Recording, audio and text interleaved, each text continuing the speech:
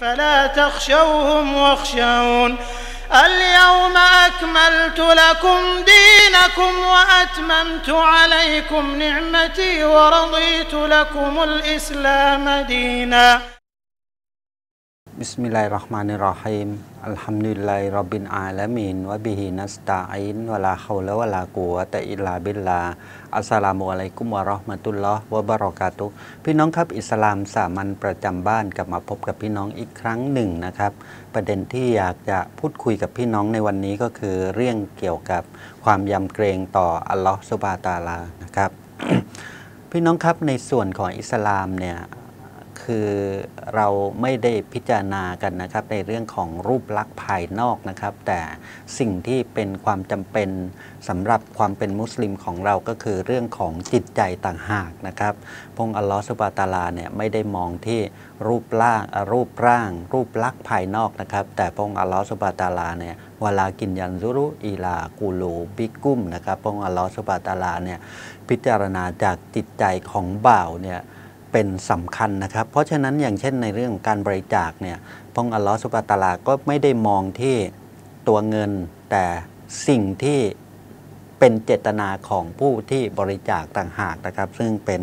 ความจำเป็นนะครับ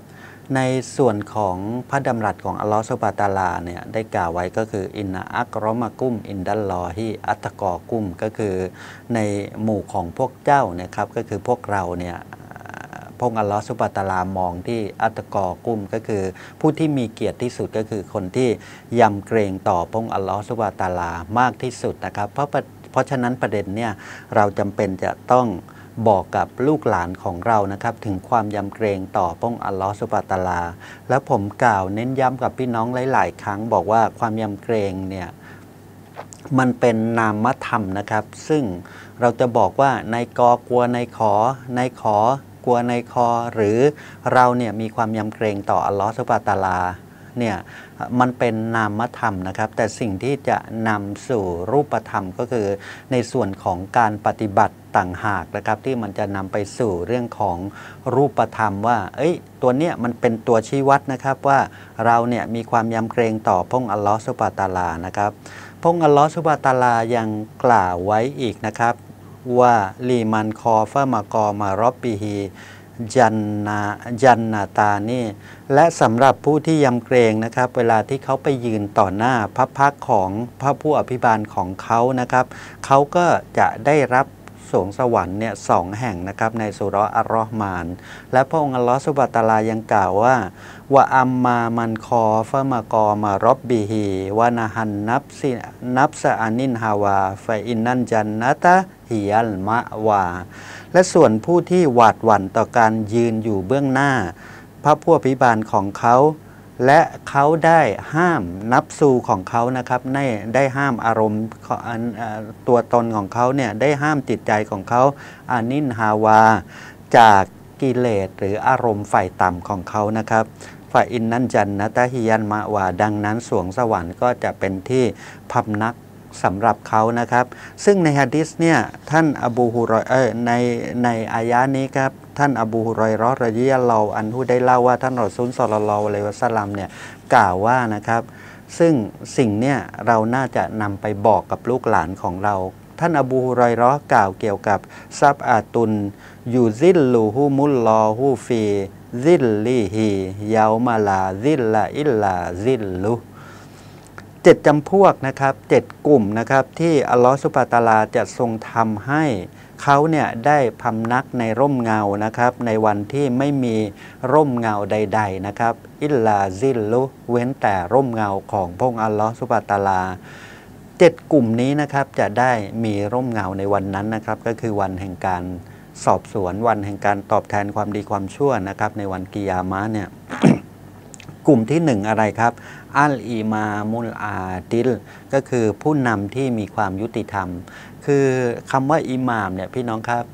ถ้าเราอยู่ในบ้าน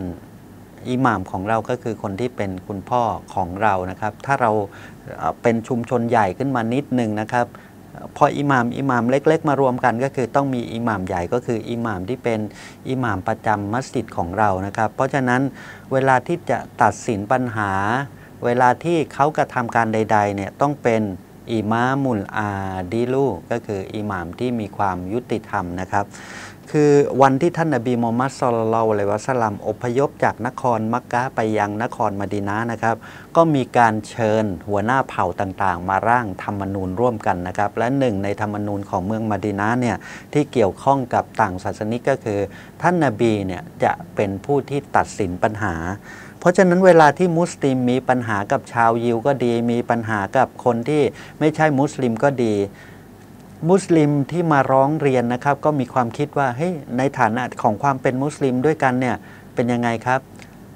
ท่านรอซูลซอลลัลลอฮุอะลัยวะสัลลัมเนี่ยน่าจะเหมือนกับเข้าข้างมุสลิมด้วยกันเอง แต่ผลปรากฏว่าท่านรอซูลเป็นยังไงครับ เป็นผู้ที่ตัดสินปัญหาด้วยความยุติธรรมนะครับ แล้วก็อย่างบางกรณีนะครับ มีคนมาร้องเรียนว่าคนเนี้ยเขาเป็นผู้หญิงในตระกูลสูงนะครับ ที่เขาไปลักขโมย อย่าตัดมือเขาได้ไหมท่านนบีกล่าวกับคนนี้นะครับ โกรธนะครับ แล้วก็กล่าวว่าถ้าอาอิชะอ่าถ้าฟาติมะลูกของฉันเนี่ยเป็นคนที่ขโมย ฉันก็จะตัดมือเขาด้วย ตัวของฉันเอง แสดงถึงความยุติธรรมของท่านนบีมูฮัมมัดสุลลัลลอฮุอะลัยวะสัลลัมเพราะฉะนั้นกลุ่มแรกที่จะได้อยู่ในร่มเงาของพระองค์อัลลอฮฺสุบะตาลา ก็คือ กลุ่มของอิมามุลอาดินอิหม่ามที่มีความยุติธรรมนะครับกลุ่มต่อมานะครับก็คืออันเนี้ยเราสามารถทำได้นะครับก็คือว่ารอยูลุนก้อนบูฮูโมอัลละกุมฟินมาซาจีดีกลุ่มต่อมาก็คือชาร์ปก็คือ รอยูลุนก็คือชายหนุ่มนะครับที่หัวใจของเขาเนี่ยผูกพันอยู่กับมัสยิดนะครับ ทีนี้หัวใจผูกพันอยู่กับมัสยิดเนี่ยเป็นยังไงครับเขาก็จะต้องเป็นคนที่อะไรครับ มุ่งในการอิบาดะต่ออัลลอฮฺสุบะตาลาเขาเนี่ยจะต้องเป็นผู้ที่ ไปมัสยิดเป็นประจำ เวลาที่มัสยิดเนี่ยต้องการความช่วยเหลืออะไร หัวใจของเขาผูกพันอยู่กับมัสยิดพี่น้องครับถ้าเราเนี่ยเข้ามัสยิดอยู่เป็นประจำ เรารู้ว่าสถานที่นั้นเนี่ยเป็นสถานที่แห่งการอิบาดะต่ออัลลอฮฺสุบะตาลา เพราะฉะนั้นกิจกรรมที่เราไปอยู่ที่นั่นหนึ่งรำลึกถึงอัลลอฮฺสุบะตาลาสองอ่านกุรอาน เรามีการขอดุอาจากอัลลอฮ์คือเป็นยังไงครับ มันก็จะมุ่งแต่ในเรื่องของการอิบาดะต่ออัลลอฮ์สุบะตาลาเป็นสำคัญ เพราะฉะนั้นถ้าเราเป็นคนหนึ่งที่หัวใจของเราเป็นอย่างนั้นเป็นยังไงครับ วันที่ไม่มีร่มเงาใด ๆ เราก็จะมีร่มเงาของอัลลอฮ์สุบะตาลา เป็นร่มเงาของเรานะครับกลุ่มต่อมาก็คือว่ารอจูลานี่ยาตาฮาบะฟิลละ อิสตามาอาอะไรฮีวะตาฟารอกออะไรฮีกลุ่มต่อมานะครับก็คือชายสองคนที่เขามีความรักในอัลลอฮฺสุบะตาลาเหมือนกัน เขารวมกันเพื่อพระองค์อัลลอฮฺสุบะตาลา แล้วเขาก็แยกกันเพื่ออัลลอฮฺสุบะตาลา เพราะฉะนั้นเวลาที่มีปัญหาอะไรกันเนี่ยเป็นยังไงครับ เราก็ต้องยึดอัลลอฮฺสุบะตาลาเป็นสำคัญ คือเขารักกันเพื่ออัลลอฮ์แล้วเขาก็ โกรธกันเพื่ออัลลอฮฺสุบะตาลา เพราะฉะนั้นวันนี้ถามถามตัวเราเองนะครับ เวลาที่เราเห็นเพื่อนของเรากระทำความผิดที่ขัดต่อบนปัญญาณของอัลลอฮฺสุบะตาลา เราเตือนเขาหรือไม่นะ ถ้าเราไม่กล้าเตือนเนี่ยแสดงว่าเราไม่มีความรักต่อเขาแต่ถ้าเรากล้าเตือนเขาเป็นยังไงครับ แสดงว่านั่นแหละเป็นการแสดงความรักต่ออัลลอฮฺสุบะตาลา สมมุติว่าเขาเนี่ยมามัสยิดเป็นประจำตอนนี้เขาเนี่ยไปห่วงเรื่องธุรกิจของเขามากจนกระทั่งเขาเนี่ยไม่มาที่มัสยิดเป็นยังไงครับ ถ้าเราเราคิดว่าเรารักเขา ถ้าคนทั่วไปก็มองว่า เอ้ยการที่เราเฉย เราไม่พูดในปัญหาในความผิดพลาดของเพื่อนเราเนี่ยเป็นการแสดงความรักต่อเพื่อนเราเป็นเพื่อนแท้กันจริง ๆ แต่จริง ๆ ในฐานะของมุสลิมเนี่ย อิสลามไม่ได้มองแบบนั้นนะอิสลามมองก็คืออะไรครับเขารักกันเพื่ออัลลอฮ์แล้วเขาก็จากกันเพื่ออัลลอฮ์สุบะตาลากลุ่มต่อมานะครับว่ารอจูลุนตอลาบัตตอลาบัตฮูอิมรออตุนซาตาمنصب وجمال فقال إني أخاف الله และกลุ่มต่อมานะครับก็คือชายคนหนึ่งที่มีหญิงคนหนึ่งทั้งๆที่มีทั้งตำแหน่งและก็ความงามเนี่ยได้เชื้อเชิญเขาในที่นี้ก็คือเชื้อเชิญไปเพื่อทำซีนา แล้วเขาก็กล่าวตอบว่า แท้จริงฉันนั้นน่ะกลัวอัลลอฮฺ سبحانه وتعالى เวลาพูดถึงเรื่องนี้นะผมนึกถึงฮะดิษอีกฮะดิษหนึ่งนะครับ ที่ท่านรอซูล صلى الله عليه وسلمเล่าถึงชายสามคนที่เขาไปอะไรครับ ไปติดอยู่ในถ้ำถ้ำหนึ่งนะที่ เขาไม่สามารถจะผลักก้อนหินออกมาได้ที่มันหล่นลงมาปิดปากถ้ำเนี่ย โดยเขาเนี่ยใช้ความดีของเขาเป็นสื่อเพื่อไปหาอัลลอฮฺสุบาตาลา ซึ่งชายคนเนี้ยเขาพึงพอใจอยู่กับหญิงซึ่งเป็นญาติของเขาเองนะครับ แต่ว่าเป็นยังไงครับ หญิงคนนี้ก็ไม่เล่นด้วยจนกระทั่งสิ่งหนึ่งที่มาเข้าทางเขาคืออะไร ในปีที่แห้งแล้ง หญิงคนนี้ก็มาขอยืม มาขอความช่วยเหลือจากเขา แต่เป็นยังไงครับ แต่เขาเนี่ยกับยื่นข้อเสนอคืออะไรต้องการมีเพศสัมพันธ์กับนางเพื่อจะได้หลังจากนั้นก็จะให้ความช่วยเหลือกับนาง ในขณะที่เขาขึ้นไปอยู่บนตัวของผู้หญิงคนนี้ ผู้หญิงคนนี้บอกว่าอิตากินละจงยำเกรงต่ออัลลอฮฺสุบฮาตาลา บอกว่าเขาไม่มีสิทธิ์ที่จะมาทำแบบนี้ เพราะอะไรครับ เพราะว่าเขาไม่ใช่สามีของนาง ชายคนนี้เกิดความเกรงกลัว แล้วก็ รีบลงจากนางนะครับ แล้วก็ให้ความช่วยเหลือกับนางไปเลย แล้วเขาก็ถามกับอัลลอฮฺสุบฮาตาลาว่า การที่เขาละทิ้งการทำดีนาด้วยความยำเกรงต่ออัลลอฮฺสุบฮาตาลาอย่างเงี้ยเป็นความดีไหมถ้าดีอัลลอฮฺสุบฮาตาลาได้โปรดเปิดปากถ้ำให้ประกับพวกเขา ผลปรากฏว่าก้อนหินขยับ นั่นคืออะไรครับเขาแสดงแสดงว่าสิ่งนั้นเนี่ยเป็นความดี สิ่งนี้เราต้องบอกกับลูกหลานของเรา เพราะจากสถิตินะครับพี่น้องครับ ซึ่งเป็นตัวเลขที่ค่อนข้างจะน่ากลัวนะครับในสายตาของคนที่มุ่งเน้นในเรื่องของคุณธรรมจริยธรรมผลปรากฏว่าสังคมไทยเนี่ยเปลี่ยนไปแล้วนะครับ จากอดีตเนี่ยที่เราพูดเรื่องของการรักนวลสงวนตัว แต่พอในปัจจุบันเนี่ยโอ้โห เราเห็นข่าวที่ตกใจนะครับ สร้างความตกใจกับผู้หลักผู้ใหญ่ไม่ว่าจะเป็นเรื่องของ กลุ่มที่ล่าแต้มก็ดีล่าแต้มในที่นี้ก็คือเอาคุยกันนะครับว่าฉันเนี่ยมีเพศสัมพันธ์กับคนมาแล้ว 10 คนเธอมีเท่าไหร่โอ้โห มีการจดสถิติกันนะครับ เพราะฉะนั้นสิ่งที่มาในยุคของเราก็คือเรื่องของคุณธรรมจริยธรรมที่มันตกต่ำแต่ท่านนาบีได้กล่าวเกี่ยวกับเรื่องของคนที่เขาจะได้ร่มเงาของอัลลอฮฺสุบตาลาก็คือ เขาไม่กระทำดีนา เพราะเขาเนี่ย กรงกลัวต่ออัลลอฮฺสุบาตาลา แล้วก็บอกมาเลยอินนี้อะคอฟุลล้อฉันเนี่ยยำเกรงต่ออัลลอฮฺสุบาตาลากุมต่อมานะครับ ว่ารออยู่ลุนตัดซดดะก็อักฟาฮัตตา ตะละมะชีมาลูฮูมายุมฟิกุยามีนูฮูชายคนหนึ่งที่เขาทำสดกอไปนะครับ ซึ่งเขาเนี่ยกลัวว่ามือซ้ายเขาจะรู้ ในการที่มือขวาเขาเนี่ยได้จ่ายทรัพย์สินไป ในที่นี้ก็คือตัวของคนที่ทำนะว่าเขาเนี่ยเอาง่าย ๆ คือเขาไม่โอ้อวดในการกระทำสอดกอของเขานะครับ ซึ่งมันแตกต่างกันนะ มันจะมีเส้นบางๆ ระหว่าง สมมุติว่ามีคนเนี่ยมาบริจาคให้องค์กรของผมจำนวนหนึ่ง ผมก็ประกาศว่านายกเนี่ยบริจาคให้องค์กรของผมเท่านี้เพื่ออะไรครับ เพื่อจะเป็นเครื่อง เหมือนกับเป็นแรงจูงใจ สร้างแรงจูงใจกับคนอื่นว่าโอ้โหนายกยังบริจาคเลยเพราะฉะนั้นเราเนี่ยจะต้องบริจาคด้วยมาแข่งกันทำความดีในเรื่องนี้เถอะ ซึ่งเอาง่าย ๆก็คือคนที่ทำเนี่ยไม่ประกาศด้วยตัวเอง แต่คนอื่นจะประกาศในอีกประเด็นหนึ่งนะครับ เพราะฉะนั้นเนี่ยในการบริจาคเนี่ยอะไรครับ เราก็ต้องเน้นย้ำนะครับว่า จิตใจของเราต้องมีความบริสุทธิ์ใจต่ออัลลอฮฺสุบะตาลา และที่สำคัญต้องพยายามตัดออกไปจากจิตใจของเราก็คือ เรื่องของความโอ้อวด สมมุติว่าเราไปจากที่ดินจำนวนหนึ่ง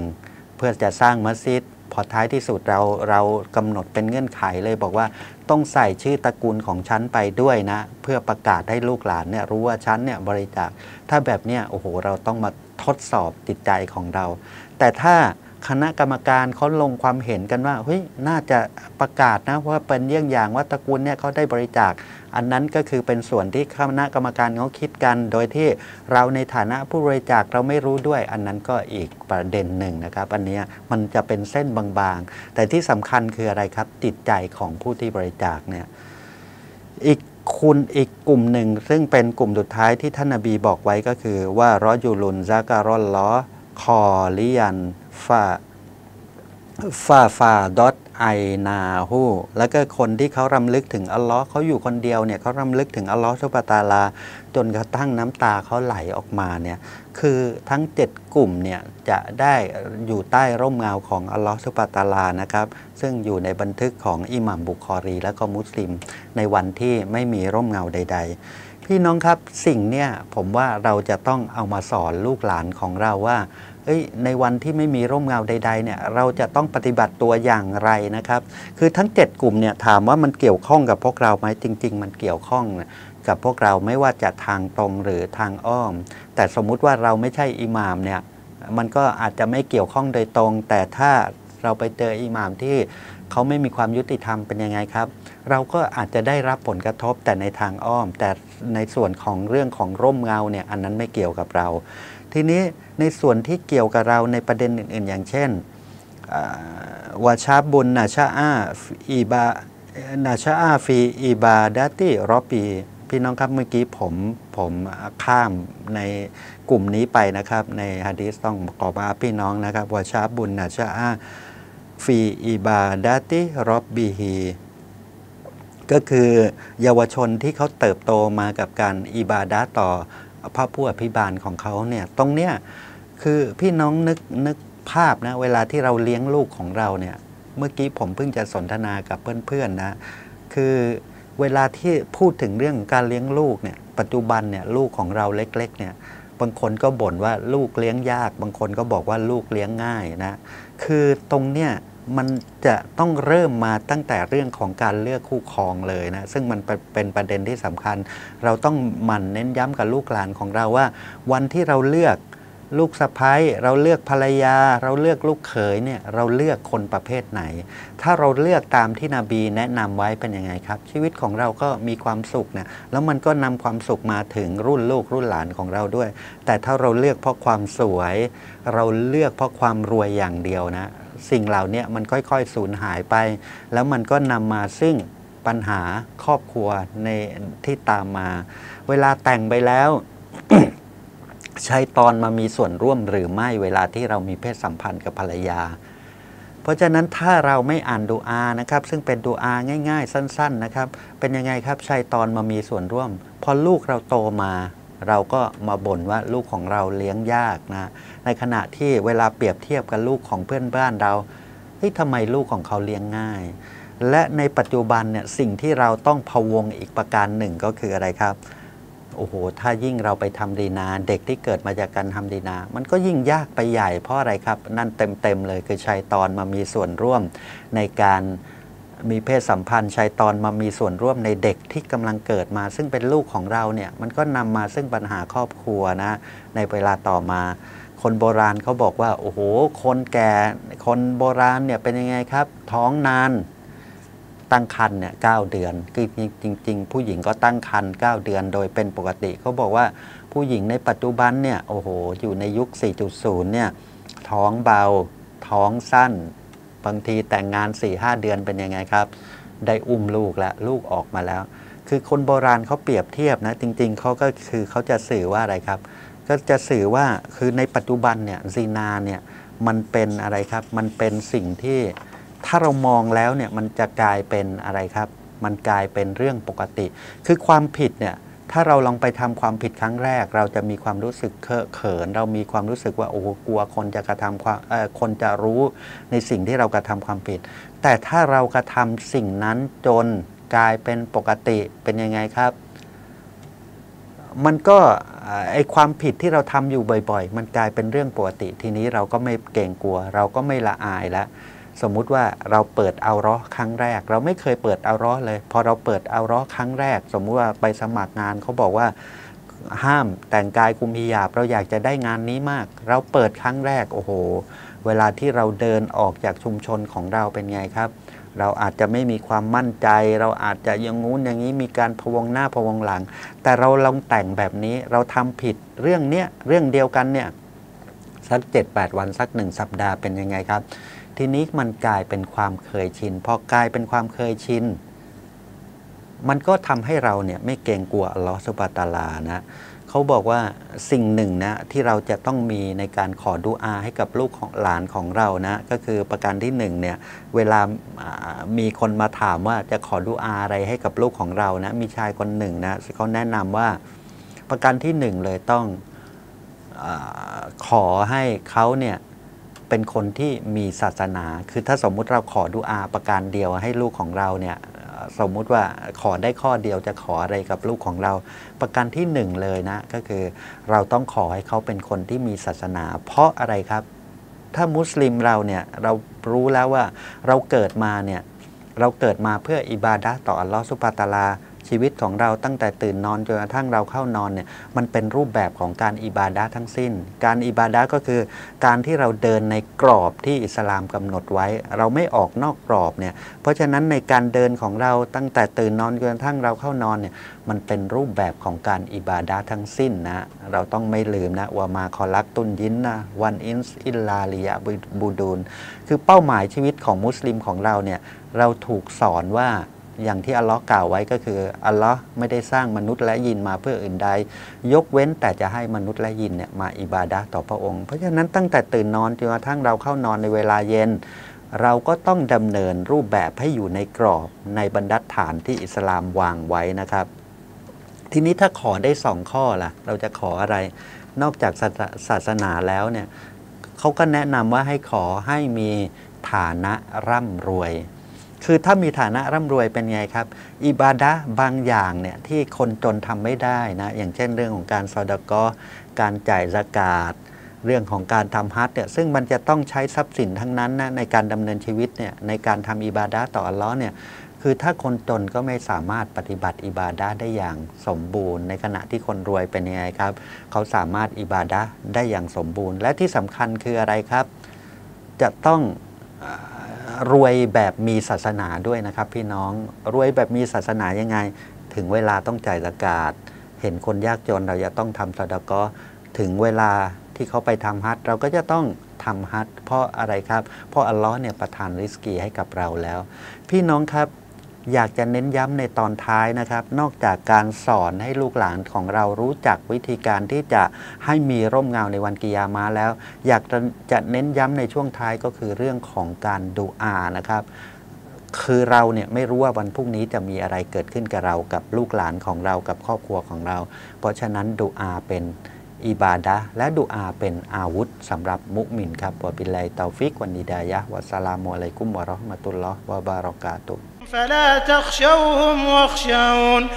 اليوم أكملت لكم دينكم وأتممت عليكم نعمتي ورضيت لكم الإسلام دينا.